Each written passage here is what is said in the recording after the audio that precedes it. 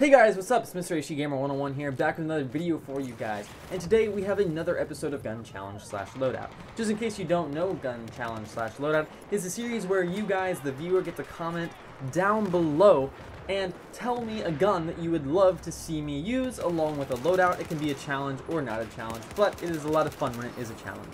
So today's episode is a very unique, well, not, not, not maybe exactly unique, but it is a very fun episode to create, and I think you guys will love it. So let's get right into it.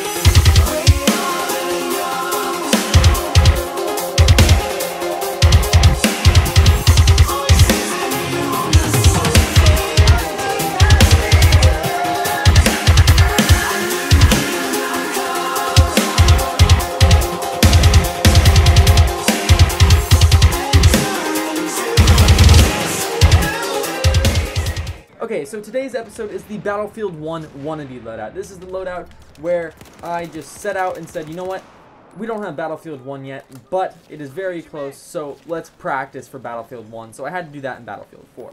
So today, we are using the SKS with iron sights, heavy barrel, and stubby grip. Now, we added the heavy barrel and stubby grip to provide higher accuracy, which would be a preset loadout in Battlefield 1 since they have those preset loadout. Now we are also using the M1911 with just iron sights. This is for obvious reasons because the M1911 was used in Battlefield 1 as well as World War 1. Now we're also using the first aid kit, which is very similar to what they are using in the Battlefield 1 Alpha at least. We're using the defibrillator as well just to um, sort of replicate the syringe from Battlefield 1, as well as the incendiary grenades to act as mustard gas, and as you guys can probably already tell, we are using the Desert Camo, the Desert Camo Camo, which is a tribute to the new upcoming map being unveiled at Gamescom on August 16th, because the desert map entrains, and it's all super cool. World War One brought a lot of really slow-paced action, but also a lot of really fast-paced action.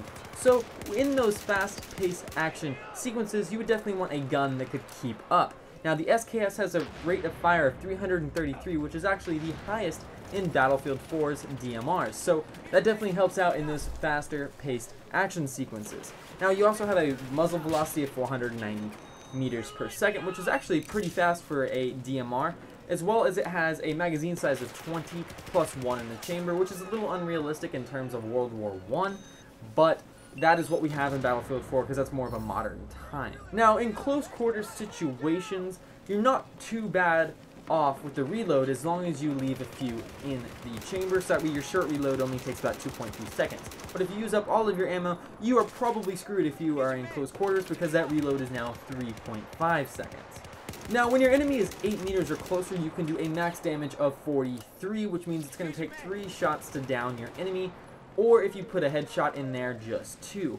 But after 8 meters, your damage starts to drop off, and once your enemy is about 45 meters away, your minimum damage is going to be 34, which means you are still going to need 3 shots to kill an enemy, or 2 if you get a headshot mixed in there.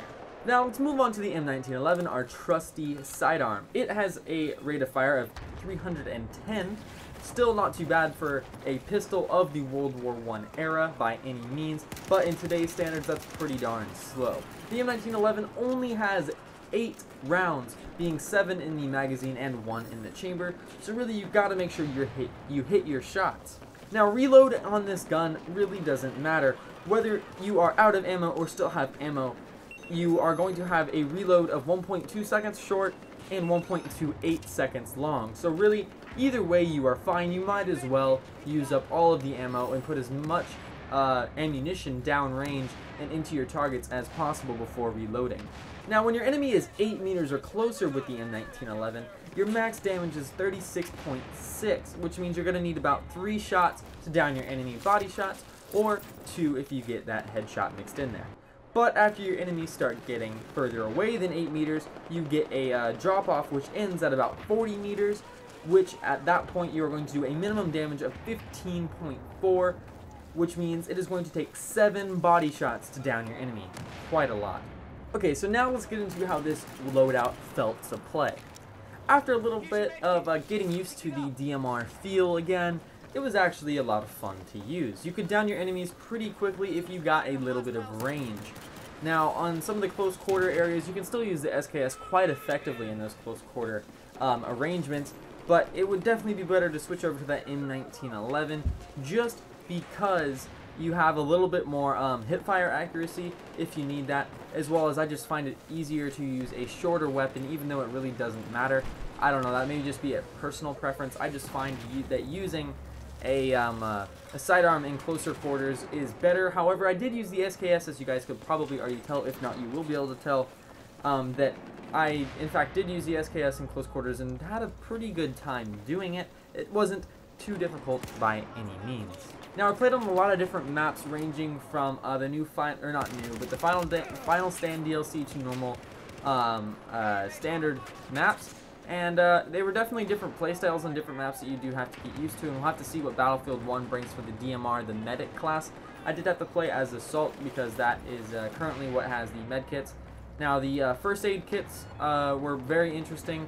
You actually had to throw them to people, which was definitely different than the normal med bag, which you just set down and your teammates gather in a radius around it and it automatically heals. The med kits you actually, or the uh, first aid kits you actually have to throw to them and they pick up. I find that they actually do, or actually are a bit faster when it comes to healing people, so I definitely like that. I definitely got a lot of heals, about the same as using a med bag though. Now let's go on to the incendiary grenades. Normally in Battlefield 4, incendiary grenades, you don't find them used all that often.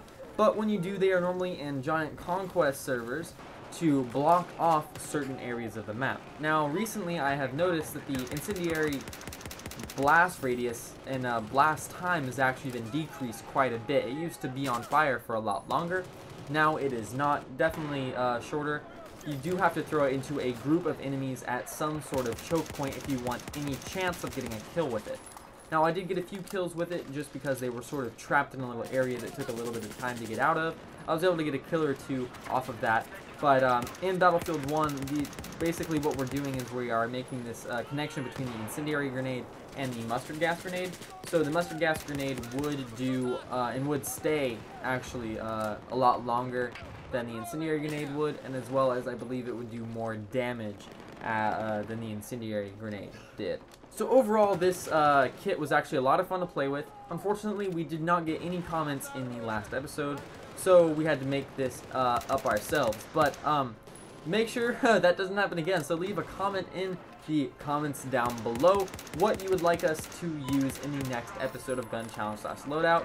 Either give us a really awesome gun challenge that's going to be kind of challenging and that will obviously make a good video, or just give us a really cool loadout that we can go on some awesome kill streaks with and get some awesome footage for you guys. So, I really hope you guys enjoyed this video. Don't forget to leave a like if you liked it, dislike if you disliked it, and hate everything about life. Don't forget to hit that subscribe button so you don't miss any more awesome videos, as well as a bunch of Battlefield 1 content when that open beta comes out here, hopefully in a few days after Gamescom. And don't forget to leave a like also if you cannot wait to see the new Desert Battlefield 1 map at Gamescom, as well as see how uh, Stone Mountain 64 does, because uh, He's my brother, man. Let's go. Stone Mountain for the win. So, guys, I'll see you guys in the next one. This has been Mr. HD Gamer 101 here. Peace out.